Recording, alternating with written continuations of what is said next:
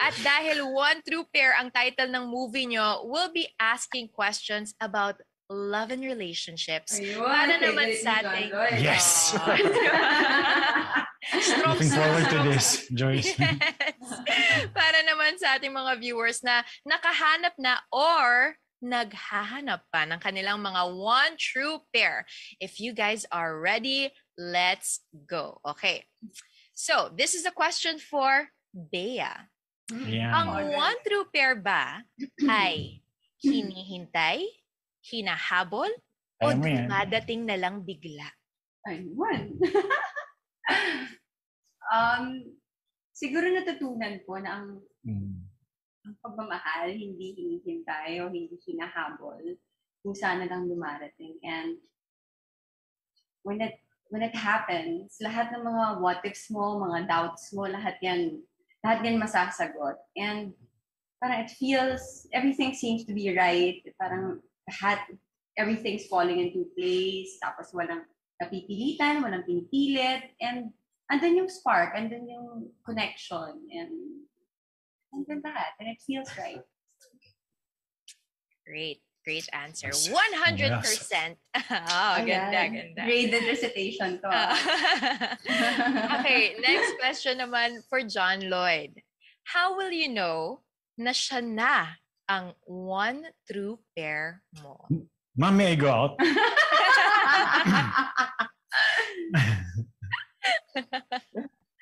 no, you may not. You have to answer the question first. Gusto ko marinig to. Paano mo malalaman pagka siya na ang one true pair mo? Want to share? Oh. Wow. I, I, I- I guess you just know. You just know. Um, hindi lang ikaw yung maka, hindi lang ikaw yung elemental in the process of knowing.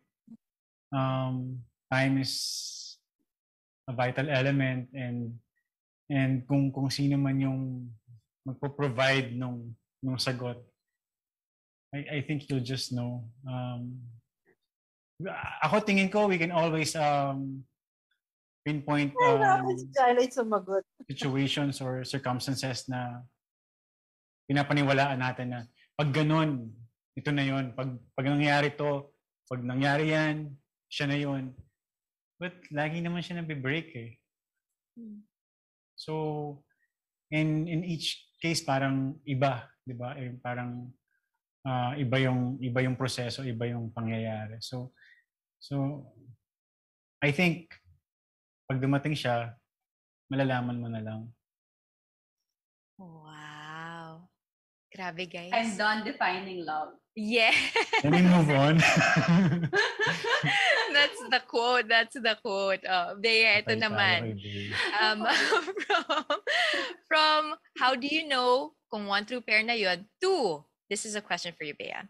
Ano ang hinahanap mo sa one true pair mo? Yung pag sinabi ni Lloyd, pag nakita mo yun, yun na yun, alam mo lang. Ano yung hinahanap mo?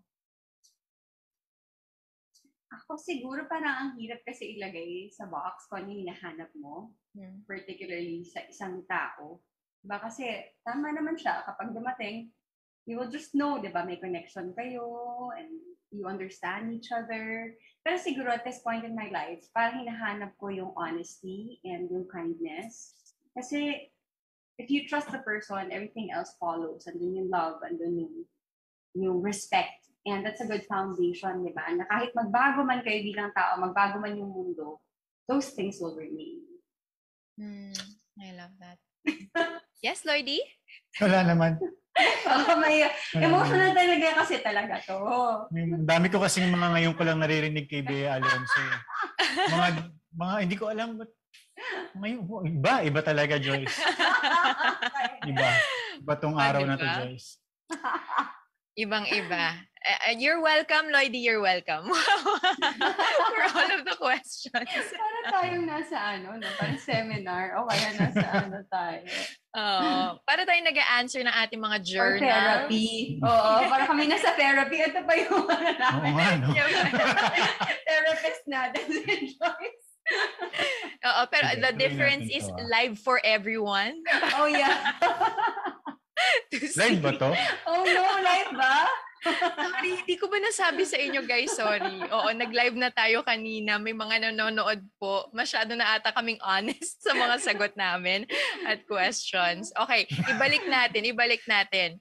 Uh, Lloydie, ito naman. Complete the sentence. Hmm. A way to a man's heart is through his...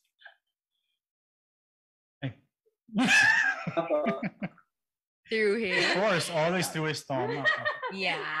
Alam mo yan, Day. yes. Alam mo yan, Day. Mm-mm. Kilig to the bones talaga. Wala ka I na ba inadagdag doon? Yes, may additional ba? Parang, yeah, parang nagutom lang ako. Nakaramdam lang ng konting, uh, Gutom. oo. Oh Ah, my- Meron dyan. Perfect pair. Merong chicken joy doon. Spaghetti dyan sa mamba. Meron Meron. nakaabang. Meron na nakaabang na perfect pair din dyan sa inyo, guys. Bea, ikaw naman. What kind of love is the best love? Self-love. Hmm. Self-love. Because if you love you, yourself, magkakaroon ka din ng self-respect. And, di ba, you cannot give what you don't have. So if you fill your heart with so much love, imagine yung love na pwede mong maibalik sa universe. Hmm. Totoo. Iba Totoo. talaga, Joyce. Iba talaga, Joyce. Iba talaga. Iba yung mga natututunan ko ngayon. Never ko, Ah, umayos ka nga. never ko natutunan to sa buhay. At, at my age now, like, Oo, ayan ha. Lloydie, huwag ka mag-alala. Nire-record namin to. Mamaya, sisend namin sa iyo yung copy ng video para pwede mong ah, balikan, I love i-review. Actually, Pwede may kodigo kasi ako dito. wala ka pa bang book? Wala pa. Pag-isipan ko, ah, tingin mo ka lang ako gumawa ng Oo, tingin ko parang marami mo maraming matutulungan yung Masyado maraming alam. Oo. or or may podcast ka ba? Tingin ko dapat mag-podcast tayo. Ano tingin mo, Joyce, mag-podcast? Alam nyo, may podcast ako. I-guess ko kayo sa podcast ko kung Yes! gusto nyo. Ituloy na natin to. Pag kami sa'yo eh. Ituloy na natin to, guys. Nako, grabe. Ang sakit na ng cheeks ko kakatawa. Wait lang. Kailangan ko maging seryoso ng konti. But Okay. going back to what Bea said, I love what you said, self-love. Kasi nga naman, you cannot pour from an empty cup, 'di ba? So, you have to fill your cup and able to pour it to other people as well. To the people that you love, the people that you care for. Mm. Um, but but I think one of the things also that we've constantly been talking about obviously today is your one true pair, 'di ba? Pero syempre, laging tinatanong ng mga tao, ano ba talaga? How do you achieve your one true pair? Is it opposites attract or dapat same feather flock together? What do you guys think?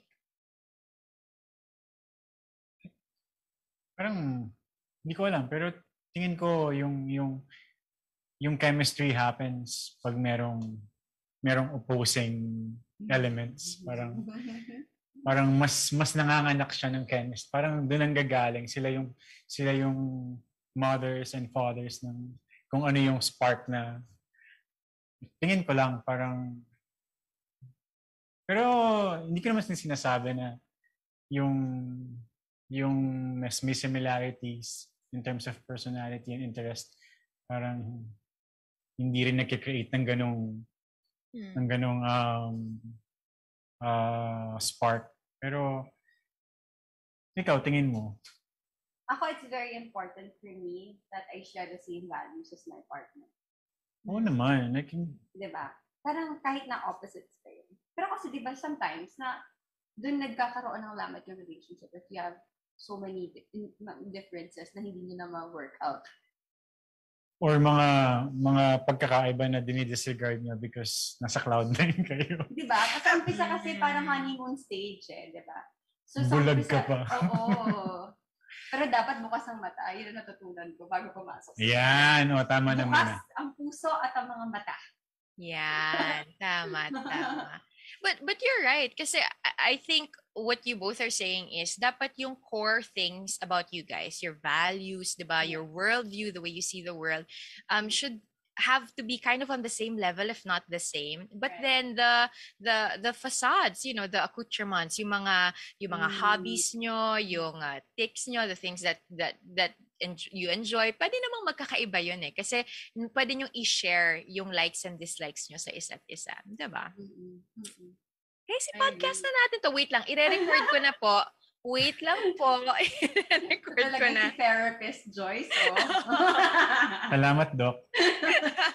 You're welcome, guys. You're wel- Hindi, mga questions din to ng maraming mga tao about love and relationship, ha? Eh, Katulad nitong next one, meron pa about fighting naman, couples fighting. Sabi dito, arguments do happen. It's really common, but do you believe in taking sides or saying na tama ka or mali ako or Hmm. something like that? I guess para sa dalawang taong handa pag-usapan kahit na anong dumating or mapunta sa harapan nila, hindi hindi mo siya matatawag, I guess, na fighting or argument. Parang wala namang kailangan pag-awayan eh. Mhm. Hindi naman kailangan mag-away. Kasi pwede naman pag-usapan. Hmm. And I also believe na, di ba, kahit na, na meron kayong mga hindi pagkakaunawaan, parang dapat, you always have to pay for the same thing. Di ba? Mm. Parang dapat, alam nyo that at the end of the day, you still want to stay together. Kasi parang, if you enter a relationship, parang extension na yun ng sarili mo, di ba? Parang, yung mga heartaches niya, heartaches mo, yung mga mga victories niya, victories mo. Mhm.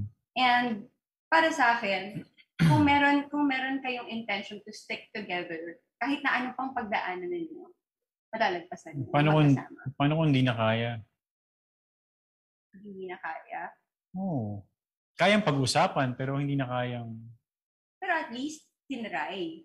Kailangan mong ipaglaban. Kasi bakit ka ba papasok sa isang relasyon kung ang dali lang tapusin? Hindi, wala lang. Kasi, wala lang.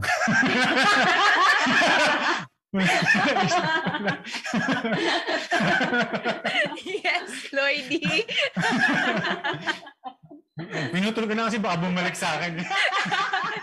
Meron na nga ako follow-up question kung tinuloy mo eh. Kaya nga eh. Hmm. Buti na lang pinutol mo na. But I like it. Compromise, right? Basically compromising and to remember that you are batting for the same team. Like you can have challenges, you can have arguments, but you are batting for the same team always. And I guess it's a whole nother conversation what you were talking about, Lloydie, na paano nga kung hanggang dun lang. Okay, you talked about it, but you know, it doesn't really happen. But I guess that moves on to tama ba yung tao kapag nakita mo na yung the one. So this next question is really for you. Talagang meant to be tong question na to para sa'yo. Kapag nakita mo na daw ang the one, Lloydie, how will you share your romance and love to the world? Mahirap awatin yan eh. It will just overflow, tingin ko. Oh? Parang, baka kulang ang mundo para saluhin yung Oh my Oy! God! Yun na naman, quotable quote na naman. Oh my God. Ako lang ang mundo para sabihin ng pagmamahal ko. John Lloyd.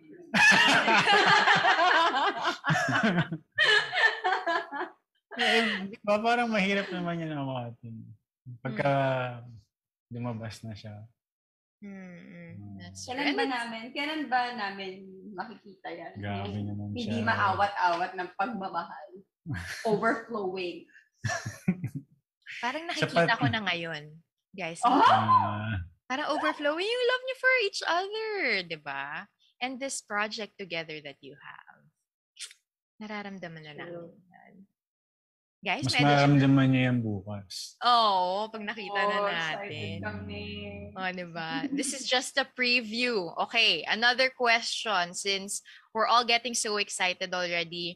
Um, I guess this is for the both of you guys. Do you believe in the thing that's called a soulmate? Do you believe in soulmates? Ako, I do. I believe in soulmates. I believe in destiny. Alam ko may taong nakalaan para sa atin. But I also believe na hindi lang limited yung soulmate to a romantic partner. Mhm. Parang, it could be your best friend, pwedeng pinsan mo, kapatid mo, nanay mo, tatay mo, hindi mo alam. And yung definition kasi ng soulmate, siguro para sa akin, are two people who have intense feelings for each other or who have this unbreakable bond. Mhm. Siguro yun yung, hindi lang siya necessarily just romance. Mm. Sana meron pa akong pwedeng idagdag doon. But I believe the same thing. Um, hindi siya limited to romance. Mm-mm. Hindi siya limited to to um to that context of um nakasanayan natin Mm-mm. and we commonly associate it with um parang I think between two people parang yun na yung pinnacle eh, Mm-mm. Na pwede niyong maabot in terms of having a relationship parang yun na yung tingin kong idea ng pinaka matibay na bond between two people And it's almost spiritual, no? mhm Mm-mm. Nas nandun siya sa level na yun. Mm. So, di ba, in your life, kung mahanap mo yung soulmate mo or soulmates mo, then I guess you're lucky. Mm-mm. Di ba? Hindi lahat nahahanap yun eh. Ba? Pwedeng sobrang dami mo naging partners, sobrang dami mo naging romantic partners. Mm-mm. Pero yung soulmates parang rare. Rare and, Okay ka and lang. Oo eh, na, na ano, okay, napapaisip ako. Hindi, the concept behind soulmates, right, is dati daw in Greek mythology, we were created as one being and then Zeus was so um, amazed with it. Para sabi niya, hindi pwedeng isang being to. So, kinut niya into two. Yun daw yung soulmates. So, ito yung, yung the other soul is the person that really completes you or parang you feel your truest self when you're around that person. And you're right. It could be anybody. It could be a romantic love. 'di ba Sa Greek din, sabi nila, agape, phileo, storge. Iba-iba yung klase ng love. Merong familial, may friendship, 'di ba So, depende na lang din talaga. And, um, you, Ang level guys- si Doc. Ang dami na Ibang level si Doc. Grabe. Kasi, usapan, totoo yun ha. You can, pwede nyo know. i-search yun. Totoo yun. Five words ang definition ng love. Iba talaga yung mga dumarating na information today. Baka mag-overflow ka lalo. Oh, buti na lang ang bilis maka, ma, ma-quote ni Beye. Mamaya Beye, hingin namin, ako-quote mo kaagad si Lloydie eh. So, pakitype na lang din sa chat box. para alam na natin kaagad. Um, but we love having this conversation with you because I think it, it just goes to show the amount of joy that, you know, there is right now for being together again, for creating this project again. That also brings so much joy to everybody. Uh, and that brings me, I guess, to my final question. Oh, guys, final Ah. question na for both of you. Um, because you are our one true pair. I want to know what is your ideal date? Hmm. Sabay pa. Ako ano, road trip. Kasi syempre pandemic, di ba? Road trip, Mhm. tapos long drive lang kayo out of town. Magandang music, magandang view. Mhm. Tapos magda-drive-thru kayo, bili kayo ng chicken Ay, joy and ayan, spaghetti, perfect pair. Gusto ko yan. Perfect. Alam mo, yan talaga yung gagawin ko. Yun yung mga, yun yung mga, may mga elements like, merong, may mga Ano? slurp. Ano? ano? yung mga juicy-licious na. Dapat okay. involve yung mga words na yan. Oo. Gusto may mga licious sa Dula Bay.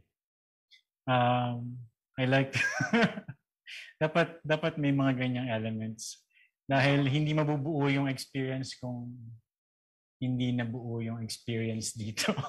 Oo, di ba? Mm. Kailangan So, busog. That's yes. the point. And dapat may enjoy mo yung experience together.